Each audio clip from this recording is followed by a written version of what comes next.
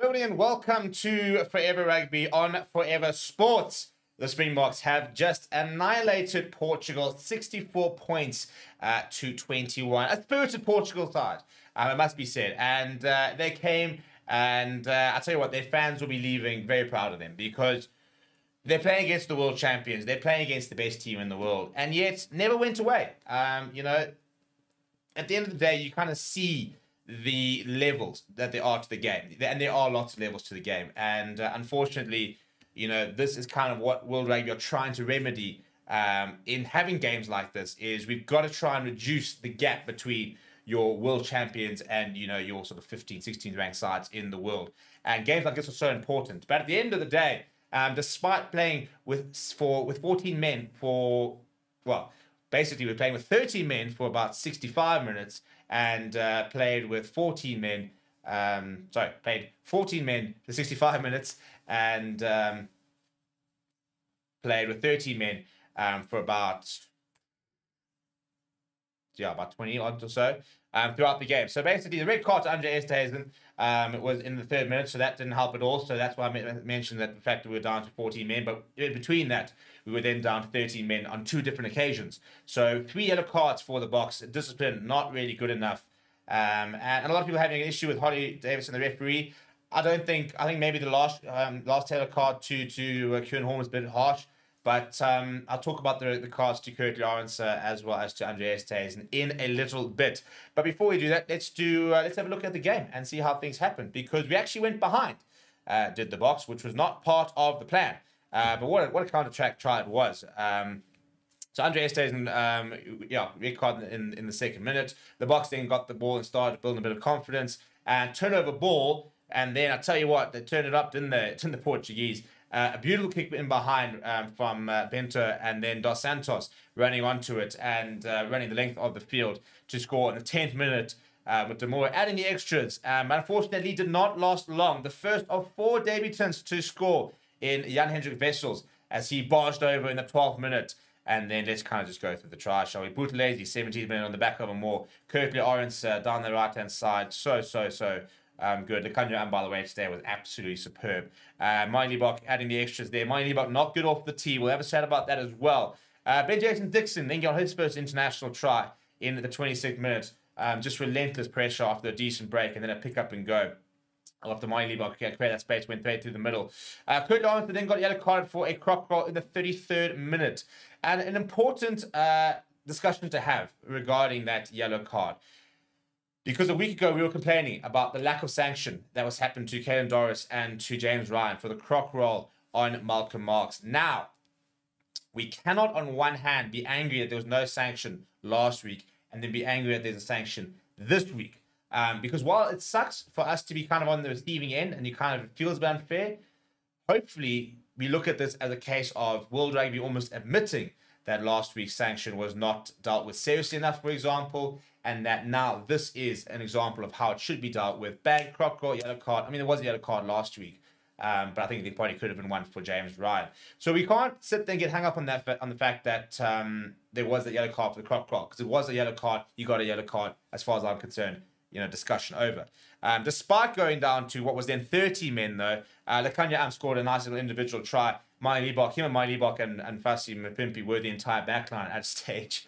Um, but uh, nicely working Libbok, creating a bit of space for the Kanya arm in the gap. Good turn of pace, nice little shimmy. Over he went. Libbok nailing a brilliant touchline conversion to make it 29 points to 7 at half time. Shortly after half time, Makazole Mapimpi um, uh, combined with Sacha Feinberg-Mngomezulu came on off the bench. A set move off the back of a scrum. Um, Kanya first receiver, Sacha Feinberg-Mngomezulu pops it to Mapimpi on the angle. Round he went, and uh, and then Mapimpi. Once again, Sacha Feinberg-Mngomezulu, the combination. This time, uh, Sacha Feinberg-Mngomezulu, individual brilliance by him. Um, deep kick in from Portugal, turnover ball. Sacha Feinberg-Mngomezulu looks up, sees the space, bang, straight through the middle, gets past another player, delays his pass, one handed, gets it out to, uh, to who then finishes into the corner. Things were going swimmingly at 43 points to 7. But Portugal said, no, no, no, no, we're not actually done. Dos Santos went over for another try in the 59th minute, uh, this time converted by Cabral. And then Quan Horn became the uh, next debutant to uh, score a try. The 64th minute, off the back of a scrum, Morné van den Berg ball in between his legs, pops it behind him, directly into Quan Horn, his teammate, who has the pace around the outside. He goes over, Sacha Mngomezulu nails another conversion. And uh, a few minutes later, Andre Hugo Venter went over. Became the fourth debutant uh, to score a try. Once again, Sacha Mngomezulu, no issue off the tee. Quan Horn then got a yellow card, taking the man out of the air. Thought it was a bit harsh, to be perfectly honest. Um, but then uh, in that move, it was a try. Basically, because of the the red card to Andre Estes, and we always had gaps out wide, which is always going to be the case. And credit to Portugal, they realized this and they exploited it. They went for the cross kicks and uh, caught us out. Um, so Madeira went over in the 74th minute, and then nice little turnover ball right at the end. And Makazole Mapimpi goes over for his hat trick. Sacha Feinberg-Mngomezulu says, Thank you very much. He notched up another um, conversion to make it five out of five. Um, let's talk a little bit about the refereeing because I think that's going to be an interesting uh, discussion. Now, Holly Davidson was in her first ever match with the Springboks, uh, pretty much her first real sort of tier one uh, sort of test and already seeing a lot of negative comments about her. I don't think it was that bad, to be perfectly honest. I think we were horrendously ill disciplined in that first half.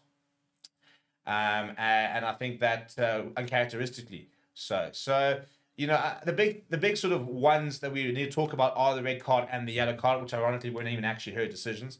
Um, then Andre Esterhuizen one, the first time I watched it, I didn't think that there was head contact. On second viewing, and when you slow it down, there is head contact and uh, you then have to go to the law book. And the rule said as soon as there's head contact, um, you start at a red card threshold and then you bring it down. So, what's the mitigation? Was there a change in drop in height from um, Jose Lima? No, there wasn't. Um, was Andre Esterhuizen upright in the tackle? Yes, he was. Um, and, uh, you know, so with, there's just no mitigation. He's upright in the tackle on a player that wasn't dipping, for example. There was ill clashed, and um, and it's a red card. I think at the end of the day.